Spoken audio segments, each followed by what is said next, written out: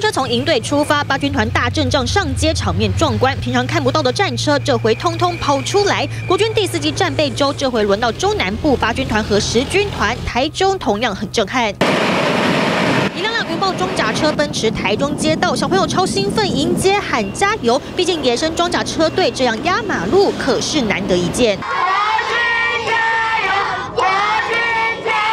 除了我们新式的云豹甲车的战力以外，也让我们所有的师生看得到我们现在国军兵的战力是多么的坚强。装甲车上阿兵哥迷彩装扮，手握机枪，更有 M60A 三战车穿越台中街头，市长学生也首度感受引擎声轰隆隆震撼。我我感觉它跟一般的车子差不多。战车经过的声音呢，对学生来讲是非常震撼的。当我们视力看不到的时候，借由耳朵去听。各种装备进出宛如小汉光，还有不少军事迷。一路从营区门口开始紧跟，趴在地上也要捕捉精彩画面。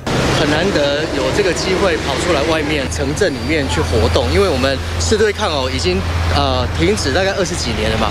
那非常难得看到国军再重重回来我们的城镇。我们有做这个相关的一个这个演练的一个项目，是都结合到我们一个战场的一个呃实际的可能会发生的一个情况。国军战备周持续进行，各地接续实施，进行战术机动战力保存，陆海空接力强化战力，也要展现坚强实力。据黄明军李学 S G 小组台中屏东报道。捍卫言论自由到底，抢救中天，台湾不能只有一种声音，请立刻订阅中天电视 YouTube 频道。订阅、按赞、分享、开启小铃铛。